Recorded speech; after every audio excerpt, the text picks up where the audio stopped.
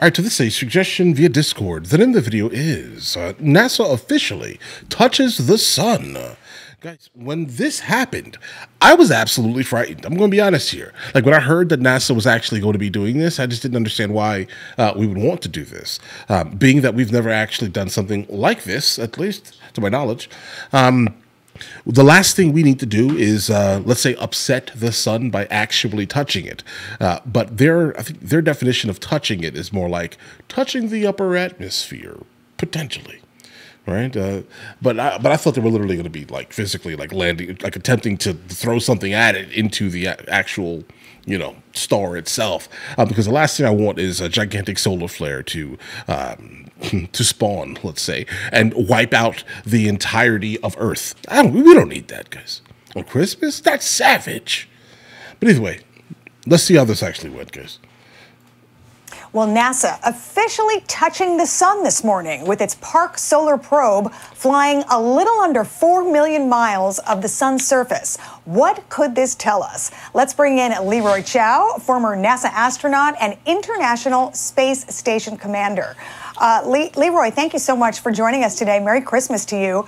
Uh, this is very exciting. This happened this morning, uh, and this is being called historic. It's like uh, 50 yeah. years in the making. Tell us a little more about it. Sure, great to be on. Merry Christmas to everyone there. Uh, yes, this is a, a, first on many levels. It approached the sun at a record speed of around 430 million miles per hour, or 430,000 uh, miles per hour, which is the fastest uh, probe that has ever uh, we've ever launched. It also came, as you said, within 3.8 million miles of the sun's surface. That sounds like a big distance, but if you no, take the not. distance from the Earth to the sun and compare that to a football field, uh, you'd be uh, about on the four yard line, right? So it's pretty close. So this is historic because we are studying the sun during what's called solar maximum. The sun goes through a cycle of about 11 years. Solar minimum happened about 11 years ago. This probe was launched in 2018. And so it's been able to study the transition from min to max. And it's uh, we're hoping, the scientists are hoping that it'll actually experience a solar flare uh, during its approach, and we can learn a whole lot more about how dynamic, how the dynamics of the sun work. Okay. Yeah, you mentioned those uh, very hot temperatures, but I just want to. I guess my only question is, bro, I hope you had like some type of camera attached to this thing. Um, like I understand having like the uh, the, the animated versions of what's actually happening. But I do seriously hope that there is some type of camera. I'm not sure how they're going to be able to maintain it, uh, but to my knowledge, on the inside of the probe itself, it's like room temperature, even if it's that close to the sun. Uh, the heat shield is basically shielding the internals. So I do hope again that there is some type of device that has the ability to um, you know, get some type of footage because that would be amazing if we actually got close up uh, onto the sun. Um, I wonder what type of like neutral density filter would have been used to even catch any video. I don't know, guys, but that sounds intriguing to me. Put the numbers up on the screen so our audience can see. Uh, so the flyby again occurred at 6:53 a.m. Uh, 430 1,000 miles per hour, and the craft faced temperatures between 1,700 and 1,800 degrees Fahrenheit, uh, flying 3.8 million miles uh, within the sun's surface. But you say that is less than a football field's length, so that is pretty darn close in comparison. And and Leroy, just tell us what are some of the things that uh, we are hoping to learn from this. I understand uh, we're learning about uh, coronal heating, solar wind. What else can we learn, and why is it important?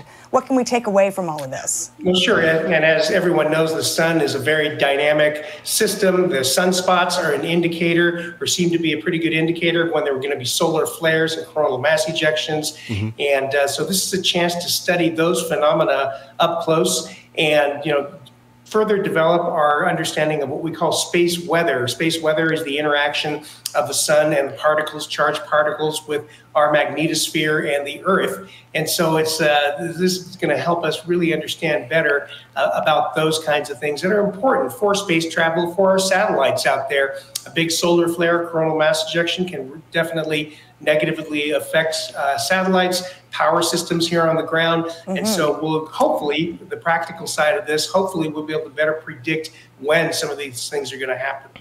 Wow. Okay, so a lot to learn there. Uh, Leroy Chiao, former NASA okay. astronaut, thank you so much for your time today. Merry Christmas to you. Click. All right, so let's not get it. Um, like in terms of the science itself, yeah, it's definitely cool to learn more information and things like that. But I'm still against it.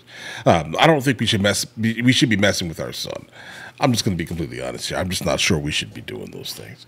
Um, but if they do have the ability to help these gigantic corporations in some manner, sure, why not use our you know federally funded money to help them out? But either way, listen, please understand sarcasm. Don't come at me in the comments, guys. Brian, listen, you guys have an absolutely amazing day. Enjoy your day thoroughly. This is my my lightsaber. Hey guys, you guys subscribe to the other channels? Logical movie reviews with Mr. L. Boyd, along with Mr. L. Boyd music. Oh, also, Mr. L. Boyd discusses. Guys, check it out. And if you haven't heard it today, it's amazing.